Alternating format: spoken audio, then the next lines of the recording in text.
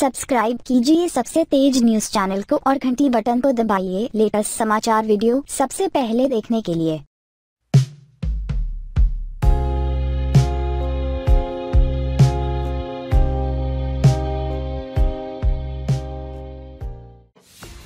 नमस्कार, आप देख रहे हैं सबसे तेज न्यूज़ और उत्तर प्रदेश की राजधानी लखनऊ में नौकरी व अपने हक की मांग को लेकर आंदोलनरत शिक्षा मित्रों को पुलिस प्रशासन ने शनिवार की सुबह लक्ष्मण मेला पार्क में बैरिकेटिंग व तालाबंदी कर रोक दिया।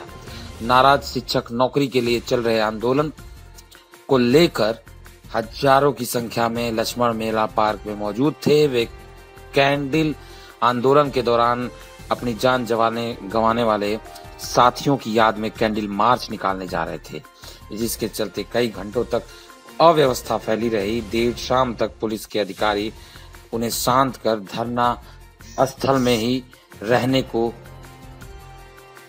उन्हें अंदर रखा। उसके बाद शिक्षा मित्रों ने उनके खिलाफ जमकर नारेबाजी की। इस दौरान धरना स्थल पर ही शिक्षा मित्रों को कैद रहना पड़ा। देखिए लखनऊ ब्यूरो से सबसे तेज न्यूज़ की ये रिपोर्ट।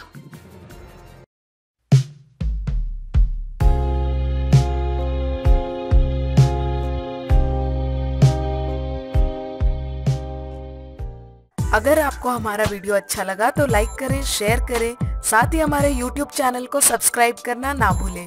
लेटेस्ट वीडियो अपडेट के लिए घंटी बटन दबाएँ।